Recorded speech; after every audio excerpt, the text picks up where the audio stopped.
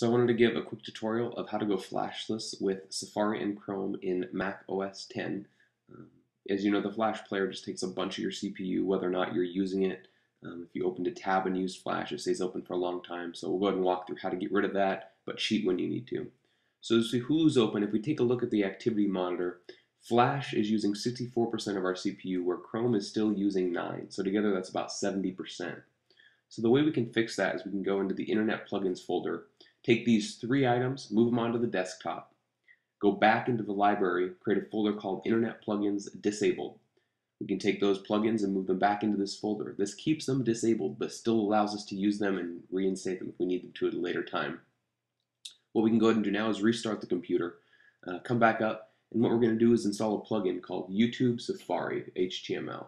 What this does is it takes all the uh, Flash videos on YouTube and it actually just shows them in HTML5. So you can still use all the, the YouTube videos and stuff like that around the web um, without having Flash running in the background. So we'll go ahead and watch a couple YouTube videos here and then we'll take a look at the activity monitor and see exactly how, how much of our CPU that's using.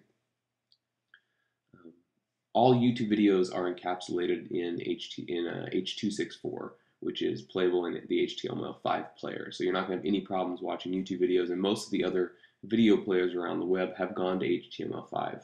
So I haven't had any problems not using Flash, other than, of course, the exception, which I'll show you about here in a bit.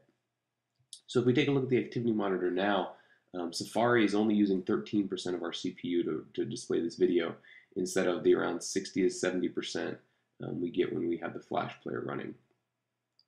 What you can do is if you still want to use services like Hulu, which of course you do, you can just install uh, Google's Chrome. It has a Flash encapsulation built into it, so it can run Flash on its own without having Flash installed in the system.